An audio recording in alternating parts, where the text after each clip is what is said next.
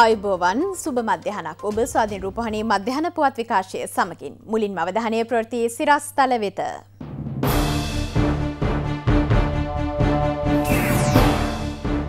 මරණ තුනක් ඊයේ සිදුවෙද්දී කොරෝනා මරණ ගණන අනුවක් වෙයි. රෝගීන් තුන්සිය තිස් හතක් ඊයේත් හමුවෙයි. අංගුලාන උතුරේත් දකුණේත් හුදෙකලාව නිමවෙයි. නිරෝධායනය රකිනවා නම් හුදෙකලාව නිමයි. රටේ අභියෝගාත්මක අවස්ථාවේ පතු දේශපාලන වාසීපා ඇමති කේලියකින් ඉල්ලීමක්. බෙංගාල බොක්කේ පීඩන අවපාතය සුලිකුණාටුවක් වන ලකුණු. ඉදිරි පැය විසි හතර අවදානම්. ජනපති වැෑශීර්ෂය අඩුවී ඇති හැටි ඇමති මහින්දානන්ද පාර්ලිමෙන්තුවේදී හෙළි කරයි. බයිඩන් අමරිකානු පරිපාලන ඉතිහාසය අලුතෙන් ලියයි. බුද්ධි අධ්‍යක්ෂ තනතුරට කාන්තාවකුත් පත් කරයි. මුලින්ම දේශීය පුවත්. අද උදෑසන වන විට ගෙවුණු පැය විසි හතර තුළ මෙරටින් COොVID-19 ආසාධිතීන් තුන්සිය තිස් හත් දෙනෙකු හඳුනාගෙන ඇති බව COොVID-19 පැතිරීම වැලැක්වීමේ ජාතික ක්‍රියාන්විත මධ්‍යස්ථානය සඳහන් කරනවා. කොවිඩ් ආසාධිත පුද්ගලින් තුන් දෙනෙකු මිය යාමත් සමග කොවිඩ් මරණ සංඛ්‍යාව අනුව දක්වා ඉහළ ගියා.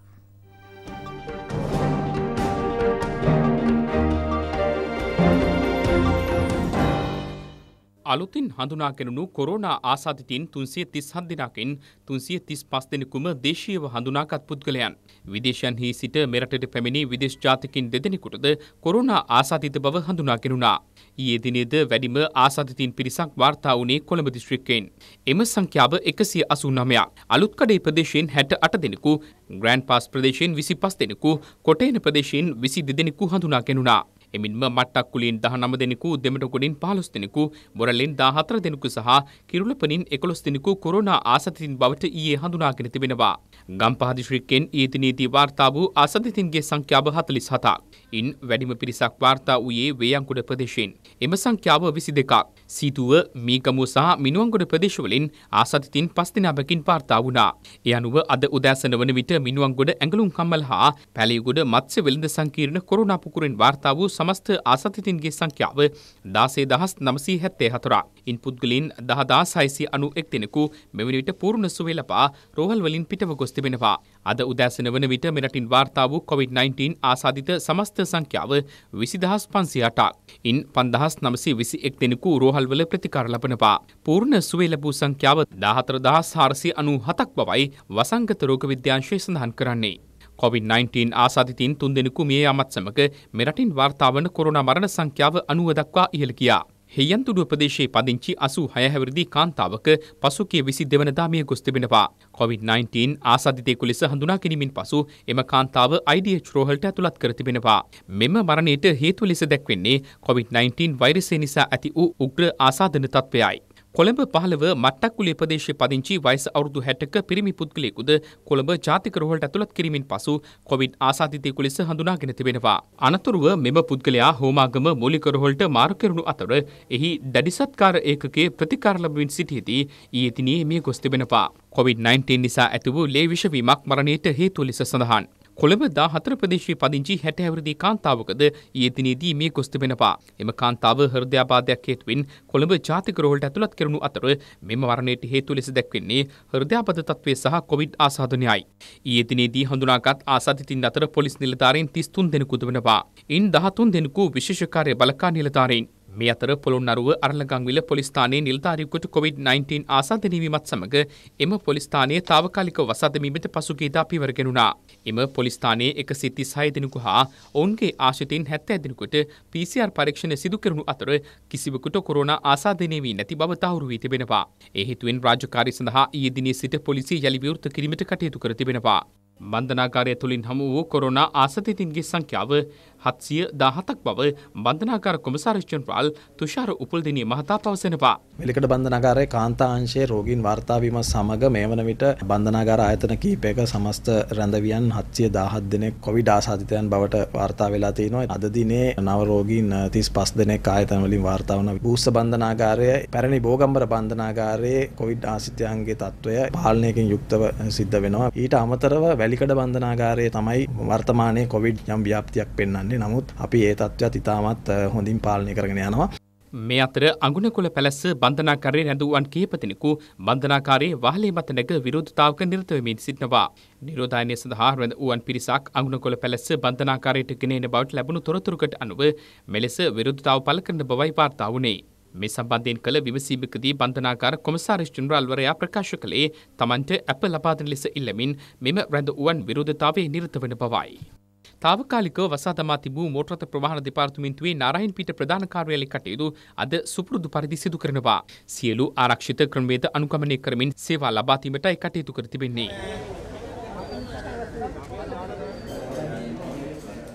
මේ අතර අබුඩාබේ සිට ශ්‍රී ලංකිකින් පනස් දෙනෙකු කටාර් සිට පුද්ගලීන් පනස් දෙනෙකු හා දෝහා සිට අසු අට දෙනෙකු අද උදැසන මෙරටට පැමිණියා. ඔවුන් සියලු දෙනා නිරෝධයන මධ්‍යස්ථාන වෙත යොමු කර තිබෙනවා. ඒ අනුව ත්‍රිවිධ හමුදාව මගින් පාලනය කරන නිරෝධයන මධ්‍යස්ථාන 45ක් තුල පුද්ගලීන් 4490 දෙනෙකු නිරෝධයනය වන බවයි ජාතික ක්‍රියාන්විත මධ්‍යස්ථානය සඳහන් කරන්නේ.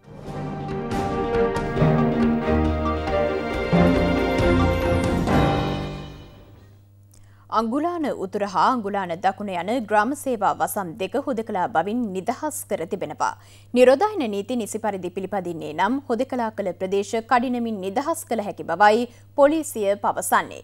ඒ සඳහා ජනතා සහය අත්‍යවශ්‍ය බව පොලිසිය අවධාරණය කරනවා. අගුලාන ප්‍රදේශයේ ග්‍රාම සේවක වසම් දෙකක් හුදකලා කර තිබුණා. ඒ හුදකලා කිරීම ඉවත් කර තිබෙනවා මේ වන විට. කෙසේ වෙතත් එම ප්‍රදේශයේ ඇති සයුරපුර නැමැති මහල් නිවාස සංකීර්ණය ඒ ආකාරයටම තවදුරටත් හුදකලා කර තිබෙනවා.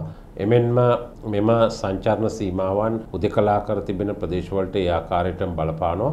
ඒ ප්‍රදේශවල ජනතාව නිරන්තරයෙන්ම තම නිවසේ රැඳී සිටිය යුතුයි. ඊයේ උදෑසන සිට පොලිස් බල ප්‍රදේශ කිහිපයක නිරෝධායන හුදකලා කිරීම ඉවත් කරනු ලැබුවා. ඒ ඉවත් කරනු ලැබුවේ ඒ ප්‍රදේශවල ජනතාවගෙන් ලැබුණු සහයෝගය නිසා. ජනතාව සංචාරණ සීමාවන් වලට අවනත වෙමින් කටයුතු කළා. තවත් පුද්ගලයෙකුට මේ රෝගය ආසාදනය වන ආකාරයට කටයුතු කළේ නැහැ. ඒ නිසා එම ප්‍රදේශ හුදකලා බවින් ඉවත් කිරීමට හැකියාව ලැබුණා. ඒ නිසා අපි විශේෂයෙන්ම කොළඹ මධ්‍යම උතුර ප්‍රදේශ ජනතාවගෙන් හුදකලා කර ඇති ගම්පහ දිස්ත්‍රික්කයේ පොලිස් වසම්වල ජනතාවගෙන් ඉල්ලා සිටිනවා. ඔබත් નિયમિત ආකාරයට නිරෝධායන රීතිවලට ගරු කරමින් සංචාරණය සීමා කරමින් රැඳී සිටින්න අපට ඉතා ඉක්මනින් පුළුවන් වෙයි ඔබගේ ප්‍රදේශයේ හුදකලා තත්ත්වය ඉවත් කර සාමාන්‍ය තත්ත්වයට පත් කරන්න. කොරෝනා තත්ත්වය හමුවේ කොළඹ දිස්ත්‍රික්කයේ ජනතාවට සහන සැලසීම සඳහා රුපියල් බිලියන දෙකයි දශමහයක මුදලක් මේ වන විට බෙදාදී ඇති බව කොළඹ දිසාලේකම් ප්‍රදීප් යසරත්න මහතා පවසනවා. ස්වාධීන් රූපහණී හත්වෙනි පැය වැඩසටහනට එක්වෙමින් ඒ මහතා මේ බව ප්‍රකාශ කළා.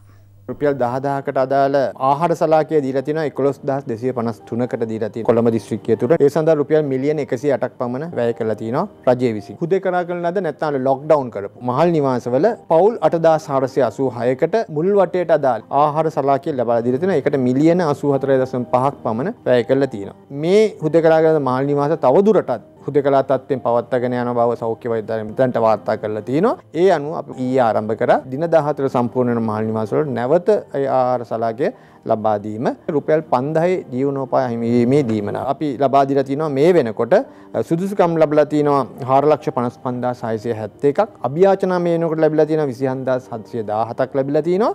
මේ වෙනකොට 373954ක් ලබලා දීලා තිනවා. මේ සඳහා මිලියන 2476ක් පමණ වැය කරලා තියෙනවා. දැන් 95ක් පමණ අවසන් කරලා තියෙනවා. රුපියල් 5000 දීමන ලබා දීමේ කටයුතු අපේ නිලධාරීන් කීප දෙනෙක් ආසාහිත්‍යත්වයට පත්වීම සහ කොළඹ ප්‍රාදේශීය ක්ෂණ කොට්ටාශයේ එක් ග්‍රාමිධාරිවරයෙක් මේ වෙනකොට කොවිඩ් ආසාදිතයෙක් බවට පත් වුණා. රාජකාරී කටයුතු කෙරෙගෙන යාම නිසා එවැනි තැන්වල පුංචි පුංචි ප්‍රමාද වීම් තිබුණා. අපිට සිද්ධ වුණා වෙනත් ආදේශක නිලධාරීන් යොමු කරලා ඒ නිලධාරීන් හරහා මේ දීමනාව ලබා දීමේ කටයුතු මම හිතන්නේ මේ සතිය වෙනකොට සියල්ලම අවසන් කොරෝනා තත්ත්වයටද මුහුණ දෙමින් රට ඉදිරියට ගෙන යා යුතු බව අමාත්‍ය කෙහෙලිය රඹුක්වැල්ල මහතා පවසනවා. ඒ අනුව ඉදිරි සැලසුම් සකස් කරන බවයි ඒ මහතා පෙන්වා දෙන්නේ. අමාත්‍ය කෙහෙලි රමුක්කල්ල මහතා මේ බව සඳහන් කළේ රජයේ ප්‍රවෘත්ති දෙපාර්තමේන්තුවේ පැවති මාධ්‍ය හමුවකදී. කොරුණා පළමු රැල්ලට වඩා දෙවන රැල්ල වෙනස් බවත් මේ අවස්ථාවේ පවුල් ලක්ෂ හැත්තේ අටකට සහන සලසා ඇති බවත් අමාත්‍යවරයා පැවසුවා. එසේ වුවද රටේ සංවර්ධන කටයුතුද කිසිසේත්ම නතර කර නැති බවයි අමාත්‍යවරයා මෙහිදී අවධාරණය කළේ. විශාලතම ආයෝජනයක් වන හම්බන්තොට ටයර් කම්බල ඉදිකිරීමේ කිවසුමටද අත්සන් කිරීම ඊට හොඳම උදාහරණයක්. නිවාස හා ජල සම්පාදන ව්‍යාපෘති ආදියද ක්‍රියාත්මකයි. කළ යුතු වන්නේ වාද විවාද කිරීම නොව කොරුණා හමුවේ වුවද සියලු පාර්ශව එක්ව රට ඉදිරියට ගෙනියම් බව අමාත්‍ය කෙලි රඹුක්කල මහතා මෙහිදී පෙන්වා දුන්නා. අධ්‍යාපන අමාත්‍යංශයේ ලේකම් මහාචාර්ය කපිල පෙරේරා කොළඹ දිසා ලේකම් ප්‍රදීප් යසරත්න විශ්වවිද්‍යාල ප්‍රතිපාදන කොමිෂන් සභාවේ සභාපති මහාචාර්ය සම්පත් අමරතුංග යන මහතුරුන්ට මෙම මාධ්‍ය හමුවට එක්ව සිටියා.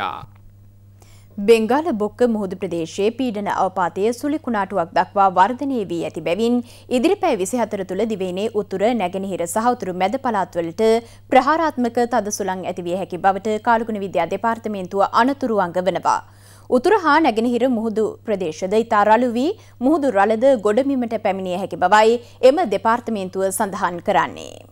ඊයේ දිනේ දිවයිනට ඊසාන දිසින් බෙන්ගාල බොක්කයේ පැවති පීඩන අවපාතය අද දින වෙන විට සුලි කුණාටුවක් බවට පරිවර්තන වෙලා තියෙනවා. මේම සුලි කුණාටුවට නමක් දීලා තියෙනවා නිවාර් කියලා. ඉදිරි පැය 12 තුල මේක ඡණ්ඩ සුලි කුණාටුවක් බවට පරිවර්තන ලකුණු තමයි පහළ වෙලා තියෙන්නේ. එතකොට මේ தත්වයට යටතේ අපි බොහෝ විට අපේක්ෂා කළ ආකාරයටම දිවයිනේ ඍජු බලපෑම තියෙන්නේ දිවයිනට ඊසාන දිශාවෙන්. දැනට මේක ස්ථානගත වෙලා තියෙන්නේ තිරිකුණාමලයේ සිට කිලෝමීටර් 283ක් විතර ඈතින් ඊසාන දිශාවෙන් සහ උතුරු නැගෙනහිර වගේ ගැඹුරු සහ නොගැඹුරු මුහුත් තීරවල සාමාන්‍යයෙන් මෙම තත්ත්වය යටතේ කඩින් කඩ වැසි සුළඟේ වේගය වැඩිවීම පැයට කිලෝමීටර් 70 80 දක්වා ඉහළ යෑමේ තත්ත්වයන් සහ මුහුද රළු වීමේ හැකියාවන් තියෙන්න පුළුවන්. මේ තත්ත්වය යටතේ ඊසාන දිග සහ නැගෙනහිර මුහුදු තීරයේ ගැඹුරු සහ නොගැඹුරු මුහුත් තීරවල දීවර හා නාවික කටයුතු වල යෙදෙන්න එපා. අනෙක් කාරණේ තමා මෙහි වක්‍ර බලපෑම තමා දිවයින තුල තියෙන්නේ. දිවයිනේ උතුරු කරේ උතුරු උතුරු මැද නැගෙනහිර වගේ පළාත්වල ඕනෑම අවස්ථාවක වැසි තත්ත්වයන් නිර්මාණය වෙනවා. වැසි හෝ ගිගුරුන් සහිත වැසි.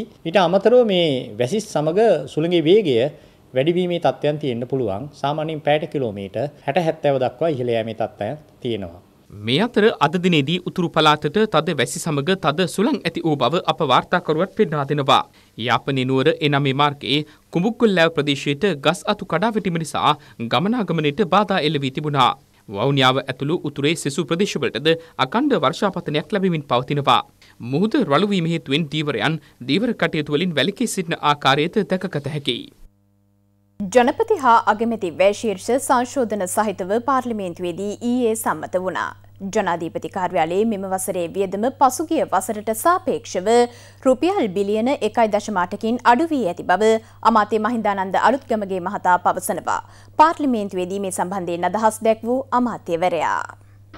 ගෝටාබේ රාජපක්ෂ මහත්තගේ පාලන කාලේ අවුරුද්දයි ජනාධිපති ලේකම් කාර්යාලය 150ක් පඩොඩි දේශීය ගමන් සඳහා කරපු වියදම. 2019 මිලියන 21යි 2020 අවුරුද්දේ මතක තියාගන්න 377000යි දේශීය ගමන් සඳහා මිලියන 21යි මේ අවුරුද්දේ මයි ගෝඨාභය රාජපක්ෂ මහත්තයාගේ කාලේ මිලියන 6යි ලිපි ද්‍රව්‍ය සහ කාර්යාල උපකරණ සඳහා 2019 මිලියන 39යි 2020 මිලියන 26යි මුළු එකතුව පහුගිය අවුරුද්දේ බිලියන 3.1යි මේ අවුරුද්දේ බිලියන 1.2යි වෙනස බිලියන 1.8යි කියනක තමුන්නාන්සේ හොඳට මතක තියාගන්න තමුන්නාන්සේලා මේකට තමයි මේ රටේ මිනිස්සු ඡන්දෙ දුන්නේ. මේකට තමයි මේ රටේ මිනිස්සු බලාපොරොත්තු වෙච්ච වෙනස. මෙවර අයවැය තුළින් ක්ෂේත්‍ර රැසකට සහන ලබා දී ඇති බව එක්සත් ජාතික පක්ෂයේ නියෝජ්‍ය නායක රුවන් විජයවර්ධන මහතා පවසනවා. මහනුවර පැවති මාධ්‍ය හමුවකට එක් වෙමිනුයි ඒ මහතා මෙම අදහස් පළ කළේ. මේ අයවැය ඇත්තෙන්ම හොඳ අරමුණ තියෙනවා මේ අයවැය. අපි හැම එකක්ම විවේචනය කරන්න හොඳ නැහැ. ඒක පැත්තකින් මම ගොඩක් සතුටු වෙනවා කෘෂිකාර්මික කාර්මික වැඩ කටයුතු වලට එහෙම බදු සහන දීලා තියෙනවා. මේ මේ හොඳ දේවල්. ඇත්තෙන්ම අපිටත් යම් කිසි දායකත්වයක් දෙන්න පුළුවන්. මොකද අපිට අපිට අවශ්‍යතාවය තියෙන්නේ මේ ආණ්ඩුව හැලුවට ලක් කරලා විවේචනය කරන්න විතරක් නෙවෙයි. මොකද මේ රටේ ජනතාව වෙනුවෙන් අපිට ඊට වඩා ලොකු දෙයක් කරන්න පුළුවන්. අපිටත් ඕනේ මේ ජනතාව ආරක්ෂා කරගෙන මේ රට දියුණු කරන්න. අයවැය කාරක සභා අවස්ථා විවාදයේ දෙවන දිනය අදයි. බස්නාහිර පළාතේ මෙන්ම හොදකලා කර ඇති ප්‍රදේශවල ජනතාවට රුපියල් පන්දහසේ දීමනාව ඇතුළු සහන ලබාදීම සම්බන්ධයෙන් විවාදය ආරම්භයේදීම අදහස් පළ කෙරුණා. මැති ඇමතිවරුන් රැසක් එහිදී අදහස් දැක්වූවා.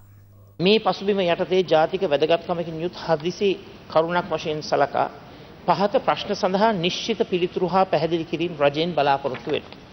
කොළඹ දිස්ත්‍රික්කයේ නිරෝධායන ඇඳිරි නීතිය පනවා ඇති ප්‍රදේශ හුදකලා කර ඇති ප්‍රදේශ හා හුදකලා කර ඇති මහල් නිවාසවල ජීවත් වන ජන සංඛ්‍යාව සහ පවුල් සංඛ්‍යාව කොපමණ දෙක කොළඹ දිස්ත්‍රික්කයේ පවුල් කීයකට මේ වන විට රුපියල් 5000 දීමනාව ලබා දී ඇද්ද?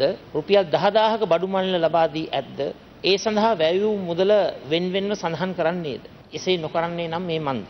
තුන මෙම දීමනාව කෙටි කාලයක් තුළ සෑම පවුලකටම ලැබෙනසේ මෙම යාන්ත්‍රණය කාර්යක්ෂම කිරීම සඳහා වැඩපිළිවෙලක් සැකසිය නොහැක්කේද. හතර ජීවනෝපාය අහිමි වූ පවුල්වලට මසකට ලබා දෙන රුපියල් 5000 දීමනාව ප්‍රමාණවත් බව රජය සිතන්නේද? එසේ නොමැතිනම් මෙම දීමනාව මසකට රුපියල් 20000 දක්වා වැඩි කිරීමට ක්‍රියා කිරීමට රජය බලාපොරොත්තු වන්නේද? ඔව් සේමසිංහ කරු ඇමතුමා. අපි සිකුරාදා දිනේ සවිස්තරව මේ සම්බන්ධයෙන් පිළිතුර ලබා දෙනවා. ඒකම එතෙක් මම ඉල්ලීමක් කරනවා අද රටේ පවතින තත්ත්වය තුලත් මේ කොරෝනා තත්ත්වය පිළිබඳ අවධානය යොමු කරලා ජනතාව කුලප්පු කරන්න නැතුව ඉන්න කියලා අපි විපක්ෂ නායකතුමාගෙන් ඉල්ලනවා. අපි සිකුරාදා දිනේ ඔබතුමා ඉල්ලපු මේ සියලු කාරණාවලට සවිස්තරව විස්තරය ලබා දෙන්න. ගරු කතානායකතුමනි මම කනගාටු වෙනවා සේමසිංහ ඇමතිතුමා අපි ජනතාව කුලප්පු කරනවා කියන කාරණාව කීව තුළ එසේ කිසිම කුලප්පු කිරීමක් එහෙම අපි කරලා නැහැ. ඒවන් චෝදනාවන් අපි සහමුලින්ම ප්‍රතික්ෂේප කරනවා. මෙතෙක් ඇති වෙලා තියෙන ජනතාව මුහුණ දීපු සියලු අපහසුතා වෙනුවෙන් රජය ඊටාම වගකීමෙන් කටයුතු කරා. දැන් මේ විපක්ෂ නායකතුමා 20000ක් 30000ක් දෙන්න ඕනි කියලා මැතිවරණ කාලෙත් කිව්වනේ. හැබැයි එතුමාගේ ප්‍රකාශ ජනතාව ප්‍රතික්ෂේප කරා. ඒ හින්දා අපි වගකීමෙන් රජයක් හැටියට කටයුතු කරලා තියෙනවා. අපි ඉදිරියටත් ඊටාම වගකීමෙන් කටයුතු කරලා මේ රටේ සියලුම ජනතාව රැක බලා ගන්න අවශ්‍ය වැඩ කටයුතු යොදනවා කරු කතානායක. මේ ඇති වෙලා තියෙන තත්ත්වය දේශපාලනීකරණය කරගන්න එපා විපක්ෂ නායකතුමනි. අපි ජනතාවටත් ඒ අවශ්‍ය වගකීම ඉටු කරනවා. තමුන්නාන්සලාට යහපත් යෝජනා තියෙනවා අපිට ලබා දෙන රජයේ සම්බන්ධයෙන් කටයුතු කරන්න. මෙතුමා කිව්වා රුපියල් මිලියන 2600ක් එතුමාට ලැබිලා තියෙනවා. කොළඹ දිස්ත්‍රික්කයේ ජනතාවට බෙදන්න. හැබැයි එතුමාගේ කතාවෙන් තේරුනේ 2600ම බෙදලා නැහැ. ඒ කියන්නේ සල්ලි ඉතුරු තියෙනවා. මගරු කතානායකතුමනි මරික්කාර් මන්තුමා සඳහන් කරු ප්‍රශ්නය සුදේශ කටයුතු අමාත්‍යංශය අපේ මම රාජ්‍ය ඇමතිවරයා. ඒ නිසා ඒ ගැන ඉක්මනින් පිය සොයලා බලලා ඒ කොළඹ ජනතාවගේ ප්‍රශ්නය කඩිනමින් විසඳීමට අවශ්‍ය කටයුතු කළ දෙන්න. කොරෝනා උවදුරෙන් රටත් ලෝකයත් නිදහස් වේවායි යන ප්‍රාර්ථනය ඇතිව විහාරස්ථානවල රතන සූත්‍රය සජ්ජායනා කිරීම තවදුරටත් සිදුවනවා. පිළිමතලාව රණවන පුරාණ රාජමහ විහාරස්ථානයේදීට රතන සූත්‍ර සජ්ජායනාවක් සිදු කෙරුණා. දින හතක් පුරා මෙම පින්කම පැවැත්වුණා. විහාරාධිපති පූජ්‍ය අම්පිටියේ ශ්‍රී සරණංකර චන්ද්‍රජෝති ස්වාමින් වහන්සේගේ මූලිකත්වෙනුයි මෙම කටයුතු සිදු කෙරුණේ. ආශිර්වාද ගැන්වූ පිරිත් පැන් ප්‍රදේශවාසීන් වෙත බෙදා දීමද සිදු කෙරුණා. මාදිවිල සම්බුද්ධාලෝක විහාරස්ථානයේදීද රතන සූත්‍ර සජ්ජායනාවක් සිදු කෙරුණා. පිරිත් සජ්ජායනෙන් අනතුරුව ජනතාවට පිරිත් පැන් බෙදා දීමට කටයුතු කළ බව විහාරාධිපති පූජ්‍ය වැලිකල්ලේ පඤ්ඤාලෝක ස්වාමින් වහන්සේ ප්‍රකාශ කළා. ඒ පොතත් සමගින් ස්වාධීන රූපහණී මධ්‍යහන පුවත් විකාශයේ නිමාවට පත්වනවා. ඔබට සුබ දවසක්.